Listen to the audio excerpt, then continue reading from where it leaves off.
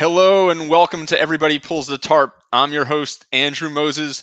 With me today, a very special guest, Rebecca Smith, the founder and CEO of Complete Performance Coaching and Perform Happy. Welcome to the show, Rebecca. Thank you for having me. It's an it's an honor to have you, Rebecca. Uh, you know, we, we've spent some time talking the last few weeks, and what I have learned about you is is your amazing story and and all the great work that you've been doing for 20 years now, helping high achievers achieve maximum performance and maximum happiness. And and I, I love the work you're doing, and I'm I'm looking forward to digging into it all with you. What I want to do though is um, look look a little bit further back in your in your career. So your passion is teaching young athletes and their parents how to achieve that peak performance while also that maximum level of happiness. Where did it mm-hmm. all begin for you? Ah, so I was a gymnast. I was a, and I was the, I'll call myself the head case gymnast. I was the one who got so nervous on beam that I would shake, I would convulse, and then end up with a really low score because they counted off wobbles because of the amount of shaking I was doing. I was, I got so nervous. And then, and usually gymnasts will have one, they'll either be the kid who's fine in practice and nervous in competition, or they're fine in competition, nervous in practice. I got to be both so I was also nervous in practice and I would have these skills that I that were well trained. I had already won competitions with these particular skills and then some days they I couldn't do them. It was like this physical sensation of I can't. You know, I try to go backwards into a skill and sort of hit a wall. My coach is like, "Okay, like do it. What's the problem?" And I was like, "I don't know what the problem. I don't know why it won't work." And so and of course other athletes had these in my gym other other they would have this like oh I am I'm afraid to go backwards but I felt like I was the only one who would have this crazy sensation of oh I can't tumble today. It's not working. I don't know why and I don't like it and I'm going to try to force it and I'm going to try really hard but um, I'm getting yelled at by my coaches because they think I'm not trying or my coaches are like sure I'll stand there again and again and again for you to do this skill you've already done well so many times. So it just wore me down because I felt like I felt like I was like walking up the down escalator and I was just working so hard and trying so hard and like I had this really good attitude and I really wanted to be the best athlete in the gym but then my teammates these little 7-year-olds were like up the up escalator and I was like what the heck Ugh. and then the idea of getting even bigger skills just terrified me and I and I ultimately didn't believe in myself enough to think I could keep doing that to reach my goals. So you so dedicate that, your so you dedicated your life to ex- exploring these types of challenges? Yes, exactly. So I quit at 14 and immediately started coaching because it wasn't that I ever fell out of love with gymnastics. It was that I fell out of self belief. Like I didn't think I could do it, but I believed in other people. So I went and I started coaching and I coached for 15 years and I, and I had kids that had the same phenomenon happen. And I was like, like, come on, what are you, why are you being lazy? Try harder. If you don't do it, you have a rope climb. And I, I was like, whoa, wait a second. I'm doing the same thing to them that my coaches did to me that did not work. And I was like, okay, I'll stand there again and again and again and again. I was like, that didn't work either. So I so when I went to get my master's degree in sports psychology, I was like I am going to figure this thing out. Like this this is driving me insane and I need to know why this happens to athletes and I need to know why to fix how to fix it. And so that is that's sort of where the the journey with my particular specialty started was like I'm going to figure this thing out because I don't want that one or two kids in every gym to be feeling like I'm the only one and I'm broken and I can't do this. So tell my audience what you're doing today because it is is an absolute um, it's an absolute awesome story it, it's a great company that you have formed and i couldn't do it justice by describing it so what t- tell tell the audience a little bit about what complete performance coaching and perform happy is Okay, so I, yeah, so I started a coaching company and basically worked a lot with at, with gymnasts because that's who I intimately understand. But it's it's a lot of um, individual sport athletes, primarily junior, like intermediate, junior level athletes who have the potential to go collegiate or elite. Um, and so I I have a team of coaches, and we we work with athletes to build confidence, overcome mental blocks. A lot of it is dealing with performance anxiety, and essentially, it's unlocking their confidence so that they can believe in themselves, trust themselves, believe that they have worth beyond just outcomes because that's what i found is the is the root of the problem for a lot of these confidence dips is that they don't they don't believe that they can. They are working hard. They want to but they they have these certain things underneath that are keeping them small that are kind of self-sabotaging. And what oh sorry yeah, I mean, so we just like we we get into that in a couple ways. One is the one-on-one coaching, and then we also have this this online community, which is where that one head case kid in each gym comes together. And I use that lightly because I I adore these these girls and these guys, and they they come together and they're like, all right, let's break through this together. And then they get the focus off trying to please their coaches. They get their focus on progress, staying present, and then they learn all these lessons that that go so far beyond sport, but they also allow them to get their skills back, get their confidence back in a way that lasts and then become, you know, like a a giver to these other athletes who are who are still struggling. They give back so that they can kind of keep the uh they can keep the good mojo flowing. What what do you think today is the biggest challenge for youth when it comes to competitive sport? Oh my gosh the biggest challenge. I want to say it's an outcome focus because that that is so it's it just eats away at everything.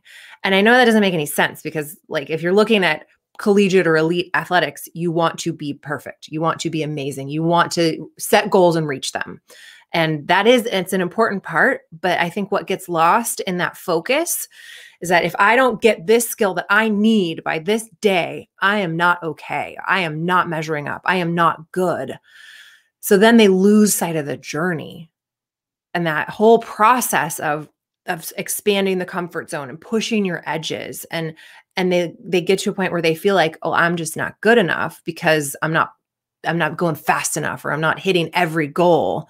Which it just it undermines all that hard work that you're doing is, is it that there's a standard program that that you know everybody's supposed to almost comply with, right? If if you want to be an elite gymnast, you've got to be here mm-hmm. by here, you've got to be here by mm-hmm. here. You got to be. Is it, does that yes. structure create oh, part of absolutely, that absolutely. That's like that. You nailed it. That's exactly it. I don't know any other sport where an 11 year old girl knows what college she wants to go to an 11 year old girl has already got her sights set on UCLA or Oklahoma, or, and she's already a level eight, training nine. She's already training 20 hours a week.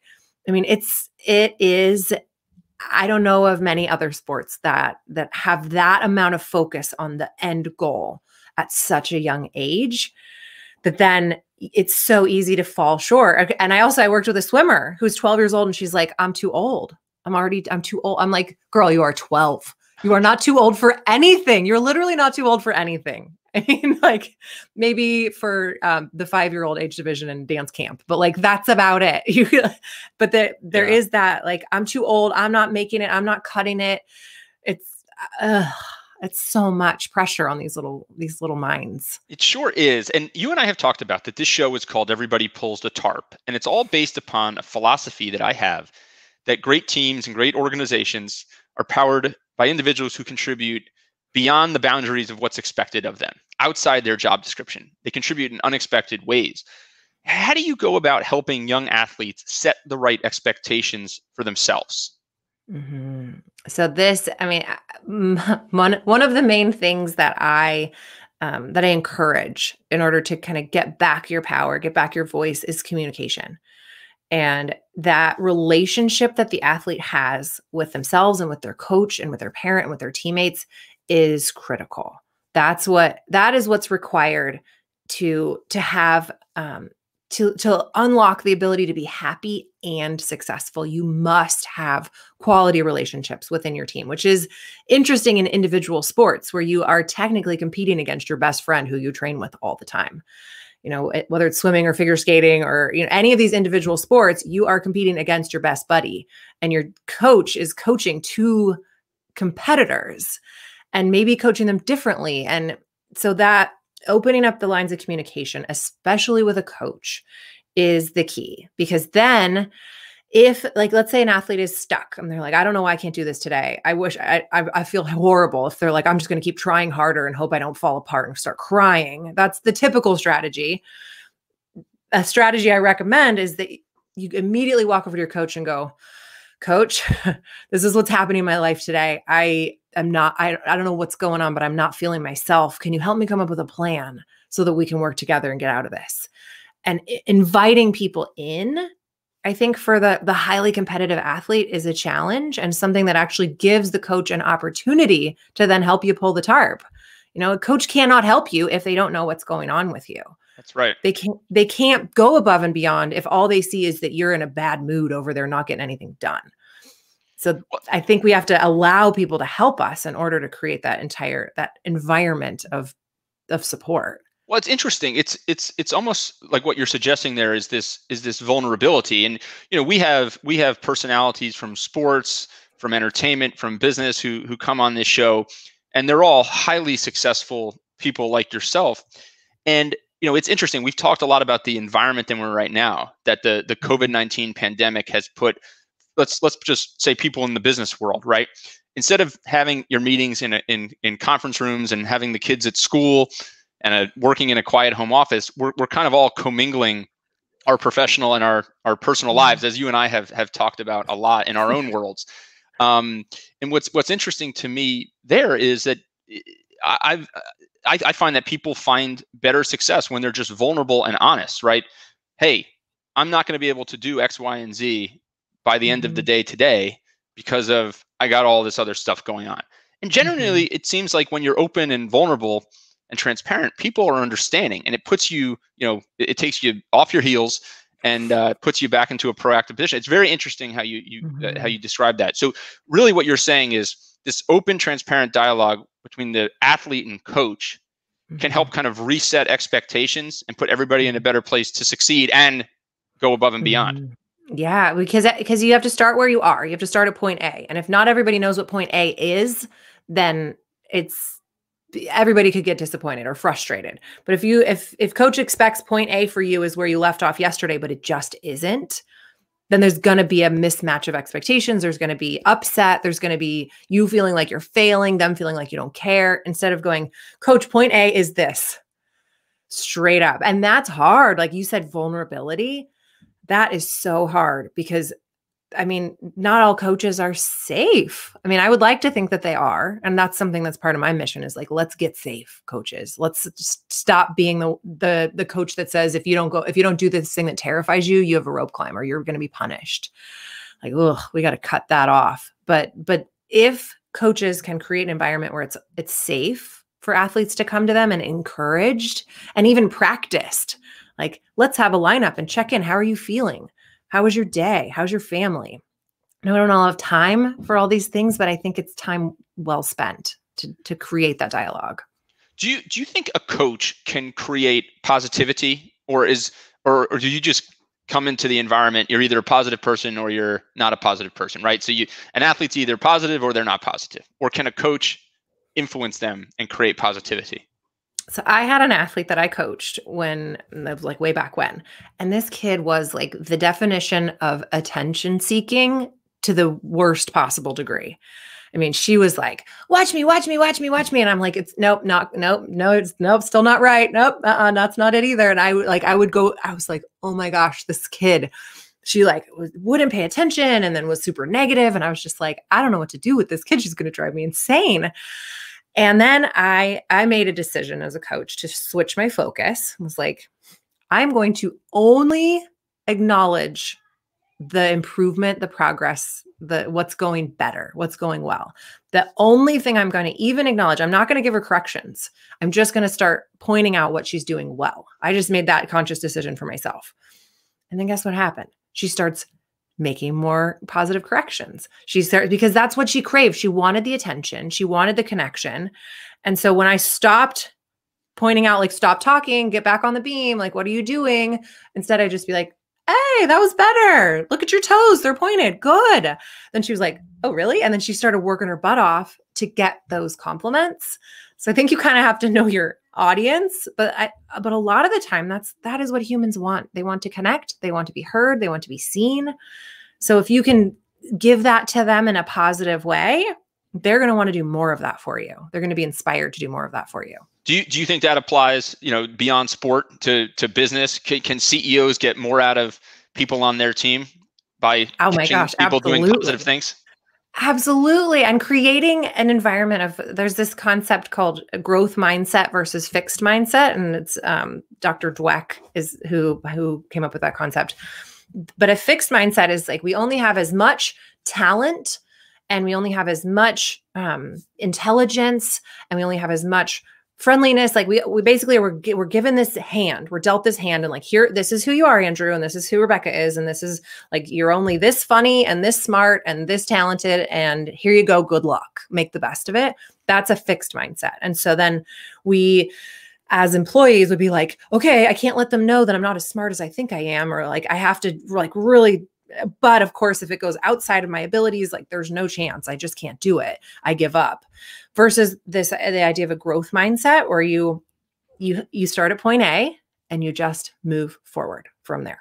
And you just get a little smarter every time you you rise to a challenge. You get a little funnier every time you like get out of your comfort zone and tell a better joke. You know, like you that everything that you're given is just a starting point and then from there you can grow. That's the way that a lot of teachers are starting to move. That's the way that that I think I think all individuals, if we can go from a place of like, it's not that I was born this smart and I got to max it out, or I'm or I'm stupid, or it's that I have what I have today, and if I keep working at it, I will get better. And that's what that's what we want to encourage, and that's what I encourage with my athletes is like, oh, that's better, an inch better, an inch better is amazing, and we throw a party. And then we go for another inch, and then it's awesome, and like let's keep after it instead of you know, looking at it like, oh, you're not there yet, you're failing. So, so a lot of, you know, I mean, business leaders, anybody in sport, entrepreneurs, whoever it is, right, might ask, okay, do we set the goal and then figure out all the little mm-hmm. things we need to do in, within that growth mindset to achieve that goal by a certain date? Or do you throw the goal out the window? Because, for example, right, mm-hmm. if I mm-hmm. decided today that I wanted to be uh, an, an, an Olympic track star, it uh-huh. would not matter the coach I had, the time I invested, I just don't have the speed. I don't have the talent. Right? There's just so. Mm. How do you go about setting a goal that's realistic versus a goal that is, you know, not ambitious enough? Yes. So there's the, uh, there's another concept that a lot of my work is based on. It's called flow theory. I don't know if you're familiar with it, but it's this. Some people call it the zone. Some people call it, you know, it's that like that state you get in when you are just like killing it. You are completely present. You know, whether you're writing or you're doing art or you're doing a sport or you're running or you're speaking, whatever it is that you're doing, you're performing, and it is flowing and you're you're so tuned into your body that you're not you're completely out of your head you're not insecure you just you click in and it just goes and you could you kind of look back at it and you're like what just happened like that was exactly i've trained all all this time for that experience that requires a challenge skill balance so you have to have the right challenge. If you are if your challenge is too low, you're going to get bored, you're not going to be inspired. If your challenge is too high, you're going to feel like you're failing and you're going to give up. But if that challenge is just a teensy bit out of reach, just a little bit out of reach, like the within the realm of possibility, you could do it, but it's going to take all of you. That is where that happens. And that's so, sort of how we want to orient our our day to day. Is to like let's just stretch it just a little bit more today. Well, I'm thinking about all the TARP pullers out there that are listening, right? And they're thinking, how can I contribute in unexpected ways? How can I make mm-hmm. contributions to my team, to my organization, um, to this project that I'm working on that go above and beyond the expectations. But when, when I think about what you're talking about there, they have to be realistic about what they're mm-hmm. going to contribute. They have yeah. to do a little bit better than they did yesterday. They have to find that that flow as you described. Mm-hmm. Mm-hmm. Yeah, and it's one thing for me to like write five million dollar business on my whiteboard and then be like, cool, back to normal. Like it's that's not enough. you know, instead I need to know, okay, well, for June, we're going to stretch to here and for july we're going to stretch to here and so we yes we set the you, you set out the goal and then you plot the points along the way and then within that you stay micro focused on your progress and you stay really excited about your progress instead of a lot of high achievers, myself included. I don't know if you can relate to this, but I would look at that 5 million and be like, I'm failing. I'm not there yet. Uh, oh gosh, how am I going to ever get there? Like, oh boy, this is, you know, this June to that, that's crazy. But if I'm just like, well, you know what, for for July this and for August this, I can stay really laser focused. I can dream my butt off. I can be like, I can dream to all heaven. Like, I want to go to college. I want to go to UCLA. I want to do this. I want to be an Olympian. Like, yes, dream it, plot it out, and then get super laser focused on just what you're doing right this second. Because also, you cannot be in flow if you're in the future. Flow is only in the present. If you okay. think about the future or you think about the past, flow is done. You're out of the flow state. You are so in the zone that you're working on essentially some micro, micro goal or objective. Mm-hmm. Yep. You're just executing. You're just executing. And that's that's the kind of the end game for for my athletes is that we get to the point where you no longer have to do all the affirmations and I got to breathe five times and it's it's more like you just click in, your mind gets calm and you go. And you execute. And and that creates this, you know, this positivity that will propel you on to the next one? Oh my gosh, flow is the best thing ever. It's the best thing ever. You if you tap into flow, you're like, "Oh my gosh, that was amazing. I want more." And then you're like, what how hard can I work? Because I want that. And that's the athlete who's like they're they're pulling the tarp harder than anybody else and they're like, "Let's go team. Like this is awesome. I love my sport." Because you have those moments where you're like, oh, all of the hard work paid off, clicked in. I did what I'm fully capable of and I want more of that.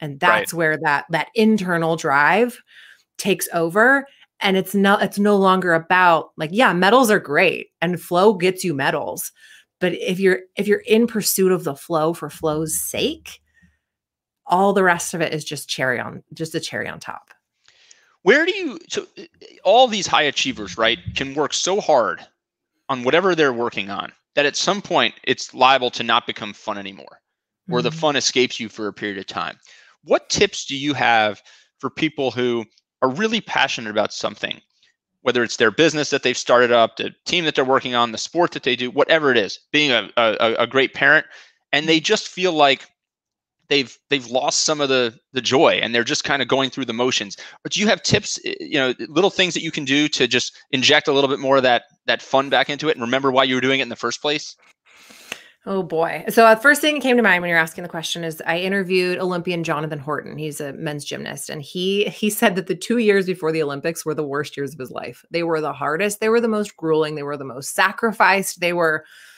like he he he said like it was awful. It was hell. It was a hellish couple of years. He was coming back from injury. It was just like nothing was going right, but he was like I'm going to the Olympics. So we're just going to do this. We're just going to wake up and we're going to put one foot in front of the other and we're just going to do this. And then he ends up at the Olympics. It's the amazing moment. He medals, he's on the podium and he's got this like, ah, oh, it was all worth it. You know, we we don't all get like that that that realm of life, especially in parenting. I'm like, where's my where's my podium parenting in a pandemic? I need a flipping podium about now. But but I mean, so there's a couple things. The first thing that I hear a lot of athletes talk about when I ask, like, was there any moment where you wanted to quit? Was there any moment where you're like wondering, is it worth it? Every one of them says absolutely definitively yes. There were moments where I did not want to do this anymore and it wasn't fun and my body hurt and I didn't know what the heck I was doing anymore and like if it was worth it. But they had a dream. And they had a dream that was bigger than the pain, than the the suffering, than the sacrifice and that dream propelled them forward. So there's there's that. That's sort of like macro level. If you have that dream that you're like yeah this is what i want like farmhouse on five acres you know or whatever it is for you that that dream allows you to sort of like trudge through the day to day. But then in the day to day you don't actually have to suffer. Pain what is it? Um pain is inevitable. Suffering is optional. Things are going to be hard. Things are going to be challenging but it's it's a matter of perspective how you how you go through it you know and you can look at for example, a disappointment. We have all had a lot of disappointments recently. I can venture to guess, you know, with with COVID and shutdowns and quarantines. And I I was expecting that both my kids would be in school mid July, and I could have all this peaceful time to work. And now I'm like, more kids, okay, more babysitters. Like, how are we gonna? There's so there's a lot of disappointments. But what we want to do is see if we can figure out, okay, what's the silver lining? What is the? And I know that's like kind of contrite, but to be like, okay, I have these have these two little girls home with me. I can either go, this is not how it was supposed to be. I'm inconvenienced. I can't work the hours I want to work. Like this, this is not what I was, this is not what I signed up for. Or I can shift my perspective to Monday, we went to the beach because we could. You know, like that, those sorts of things. It's to it's to find the gratitude, to find the like, well, this wouldn't have been possible if it hadn't have been for that disappointment. Those are the things that can like it can just bring the glow back into your life. I mean gratitude is the biggest way to find happiness in a situation that's really challenging. So if, if anything it's like just pull out your five fingers and five things you're grateful for that'll reset you. It's actually proven to, to make micro changes in your brain every time you practice gratitude that wow. allow the happy chemicals to come out I'm going to go count five things that I'm I'm grateful for. One of them is definitely this conversation, Rebecca. This has been so much fun. I've learned a ton. We could we could talk for hours. We'll have to make this a a, a ten part series one day with uh with Rebecca Smith. so before I let you go, where can listeners and viewers find more information about the great work that you're doing? So you can find us on Instagram at complete underscore performance. We also have a free Facebook group. So if you are a family who has young athletes, I would encourage you to join us there. It's called the Sport Confidence Accelerator Facebook group. Um, come join us, find us on Instagram. Well, Rebecca, this has been such a pleasure. Thank you so much for coming on. Everybody pulls the tarp and, and best of luck. Uh, and uh, hope to talk to you again soon. Yeah, my pleasure. Thanks for the good work you're doing.